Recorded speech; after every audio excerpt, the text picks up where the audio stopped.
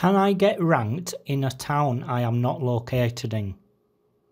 Depending on how much competition there is, you can definitely show up in the organic listing. So saying that you had to have the city, you had to be located in that city, that's speaking specifically for showing up in the map pack. Now, uh, sometimes you might have somebody that's like, hey, look, I'm in this small town, but I want to show up in the bigger town that's right next door.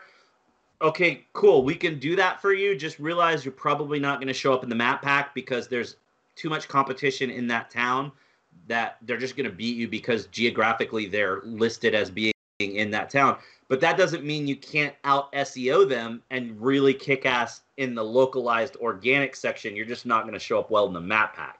But also, there could be situations where if there's just if it's some you know like underwater basket weaving and there's five in the London metro area and you're somebody that's out in the suburbs, you potentially could get into the map pack for that if nobody else is doing SEO. But in most cases, you're not really ever going to be talking to a business that there's only four or five in an entire metro.